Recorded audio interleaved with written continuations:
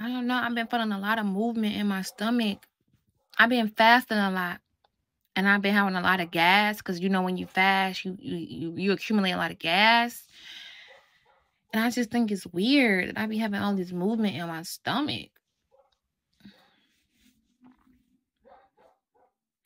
And I know I'm not. I think I I took the pregnancy. girl, I'm just scared. Like in my mind.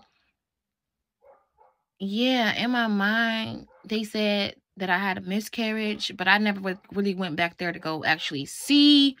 And I just don't want to wake up and then I'm four or five months pregnant and I feel kicking and shit and I can't get no abortion. Like I'm just scared. Then I'm gonna have to keep it. Like I'm just scared. I'm just so scared.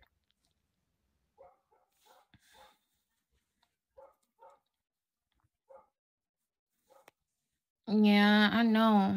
I I haven't even been getting as much gas. And then lately I have lately I've been getting um a lot of like heartburn and stuff. And like when I drink soda, it's been making me feel like a little sick. But I drink the soda because I don't eat.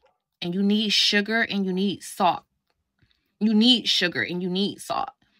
So like I just like I'm about to drink some more pop. But I use the pop as sugar.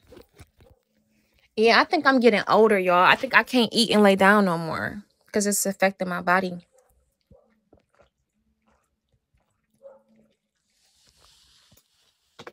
I can't do the young shit I used to do.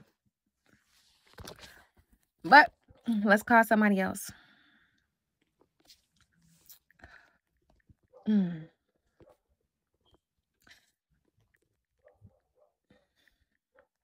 The green grass grew all around and around. The green grass grew all around Jesus. And I want to thank God for chicken. Didn't have to do it, but he did.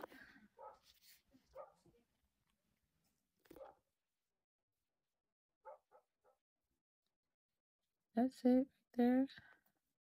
Okay.